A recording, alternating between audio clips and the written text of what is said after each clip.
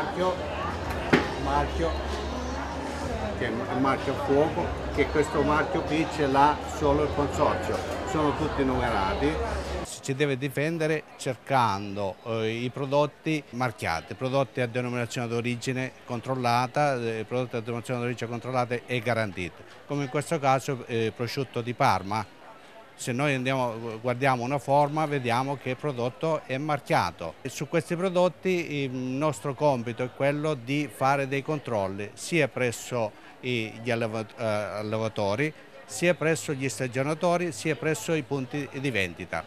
Intanto eh, andiamo a verificare se la razza utilizzata è quella prevista dalla disciplina di produzione. Il prosciutto di Parma è una disciplina di produzione che prevede determinate regole e in base a quelle regole noi verifichiamo se vengono rispettati in tutta la filiera. Sono stati fatti grandi passi avanti, oggi la qualità dei prodotti è salita e riusciamo a intervenire su uh, tante frodi e sofisticazioni con un numero notevole di controlli.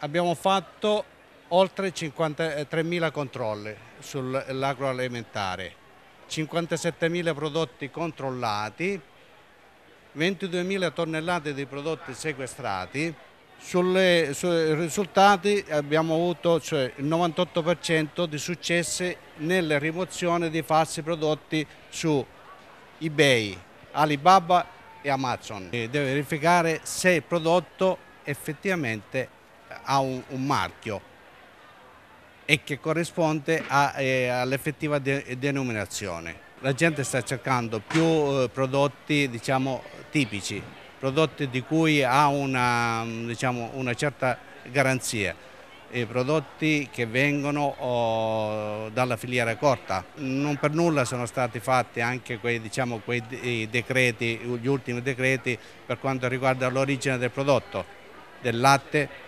del, eh, del grano del riso per tutelare ancora di più i, i, prodotti italiani, per sapere effettivamente da dove, arriva, eh, dove arrivano i prodotti. Italia Zuccheri è l'unico marchio italiano di zucchero di origine al 100% italiana.